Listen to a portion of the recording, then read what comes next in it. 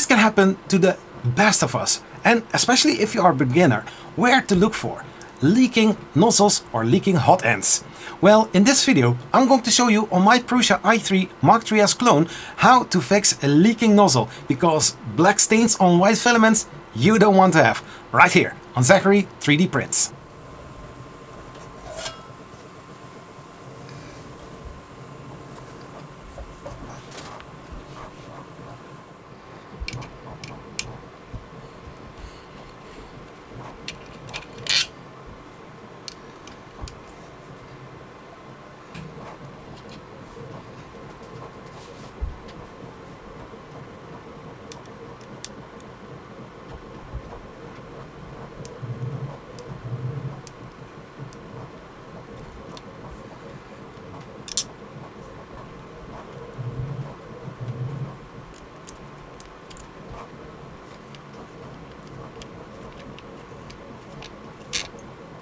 So after removing the parts cooling fan and also unscrewing two screws from the hot end fan, I'm now going to heat up the uh, hot end to 250 degrees C. After the heating up, I'm going to clean the, the nozzle, the heater block and also other parts from the hot end. I do that so that everything is nice and clean and then I can also continue with the parts that are very important.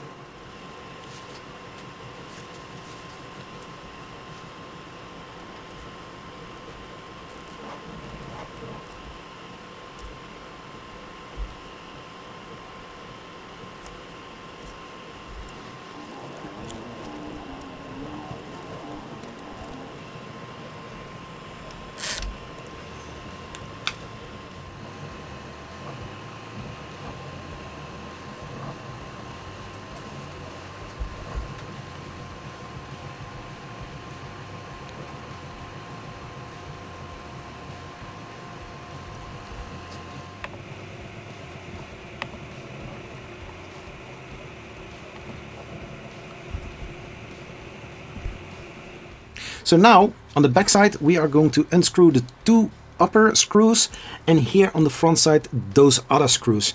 When that is done we can easily remove the motor and then we can take out the hot end right here.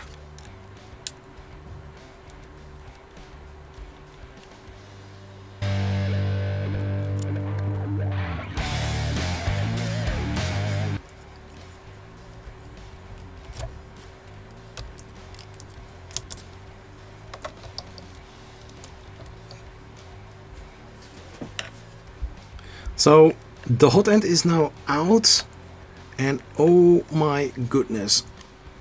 Look at this here. This is one big mess.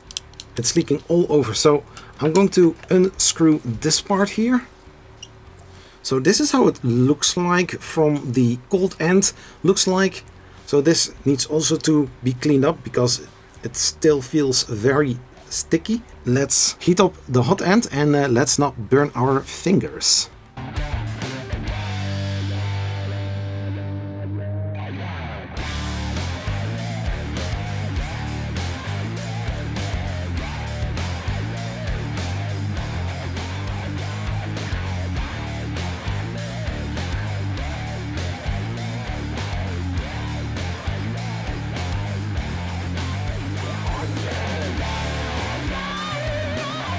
And so this is now how it looks like.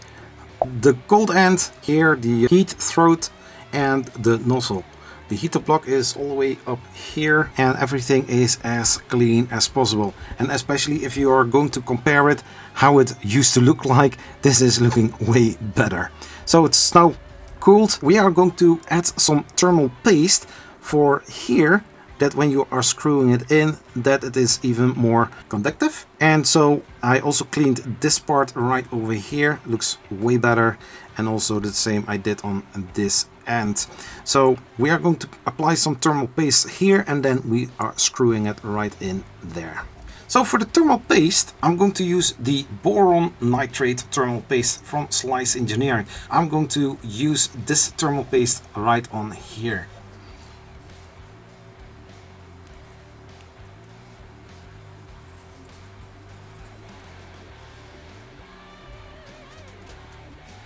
So.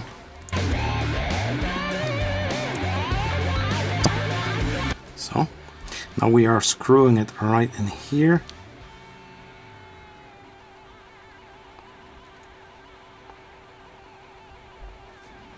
And the remaining we are going to get rid of.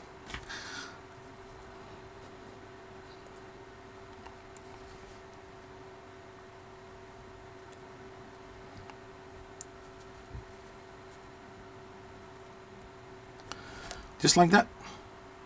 Now we are going to screw the nozzle back in. It's the first thing that you need to do.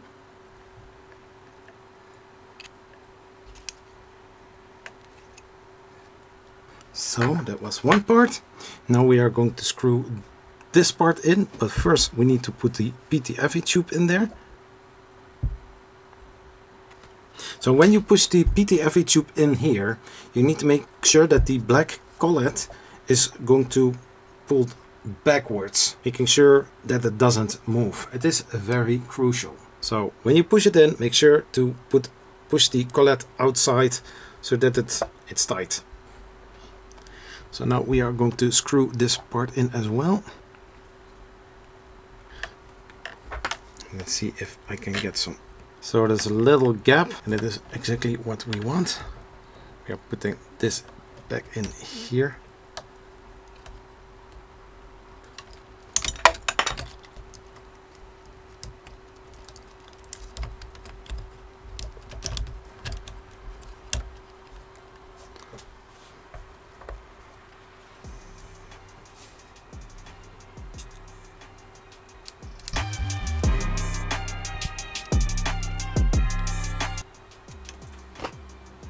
So now the hot end is free. Now I can put a wrench on the nozzle in order to hot tighten it. So for that I'm using a gripper because I don't have the right size and I want to put as much as possible tension on it so that this block isn't moving left or right. That would be terrible. So what I did was heating up the nozzle to a temperature of 250 degrees Celsius. Now I use this gripper in order to hold it steady and using this one to tighten the hot end. And what do you know, I got a abnormality in the thermal uh, thing. I try to be as careful as possible in order to not touch the thermistor from the hot end, from the nozzle.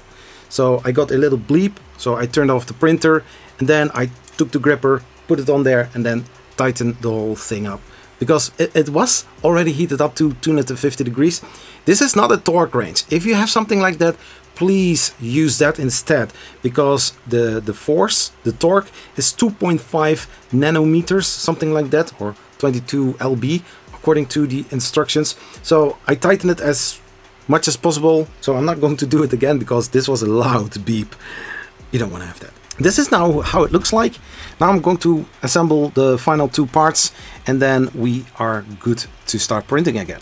So if you ever have something like a lot of those black nasty um, roasted filament, make sure that you are checking out where the issue is because where the filament is bleeding out, that is usually the part where the issue lays. And for me, it was on top of the hot end because everything was seeping down. Yeah, it was looking ugly. The hot end is now 112 degrees Celsius. I wait till this cool down and then we are going to reassemble the whole part.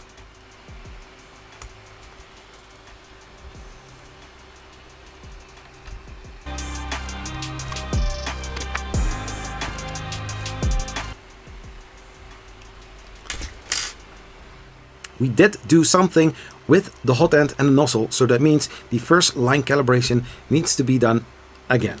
And that is how you solve a leaking hot end or leaking nozzle on a Prusa i3 MK3S clone. If you made it this far in this video, thank you. You are amazing. Please uh, like this video and uh, subscribe if you are not subscribed. And I will see you in the next one. Hey, and check out this video right over here. Come, check it out. You'll love it.